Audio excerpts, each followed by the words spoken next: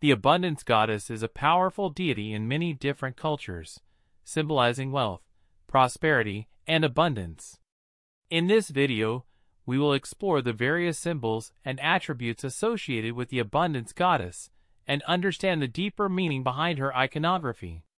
One of the key symbols associated with the abundance goddess is the lotus flower. The lotus is a sacred flower that represents purity, enlightenment, and transformation.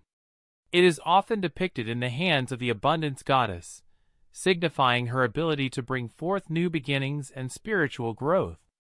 Another prominent symbol of the abundance goddess is the cornucopia, also known as the horn of plenty. This horn-shaped container is often depicted overflowing with fruits, vegetables, and other bountiful offerings, symbolizing the endless abundance and generosity of the goddess. In many representations, the abundance goddess is depicted holding golden coins or showering them around her. This symbolizes her role as a bestower of wealth and financial prosperity. The golden coins represent material abundance and the goddess' ability to bring wealth to her devotees. The abundance goddess is often associated with harvest and fertility symbols, such as wheat sheaves, ripe fruits, and overflowing harvest baskets.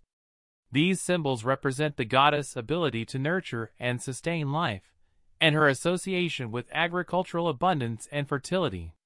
The symbols and attributes associated with the abundance goddess are not only visually captivating but also hold deep spiritual significance.